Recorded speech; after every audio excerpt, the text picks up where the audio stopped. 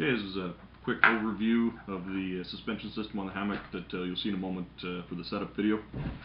Uh, this is just a Hennessy Expedition bottom entry model, nothing special about that, just pretty straightforward.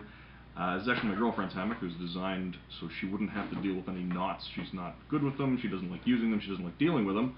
So this made the whole hammocking idea a lot easier for her to deal with. So, um, the whole yeah, the whole idea of the suspension was to keep it knot free, fast, and straightforward. So how this works is it just starts out with uh, simple one inch poly webbing. Uh, just started life as ratchet strap. And then we got these uh, little Metolius climbing rated beaners. They are nice, they are lightweight, they're small, they don't take up space, so when I'm backpacking, these are great.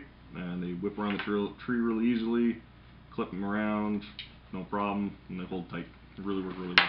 So, next down the line is the elephant trunks from Smart Outdoors. These are great little units. They're really strong, they're really simple, and they're very straightforward. So, especially when you got them pre-threaded like this, it's one pull to shorten the line, and then one to secure it, and that's it. It's that's all you need, and that's all the adjustment built in right there that you need for your suspension. Following here is just about a three foot piece of uh, Amsteel here.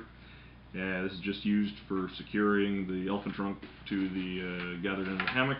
Uh, it's not adjustable, it's not a whoopee sling, it doesn't need to be. We got all the adjustment we need uh, with the trunk, so it's just simple basic ends, goes to the trunk, and then to the end of the hammock.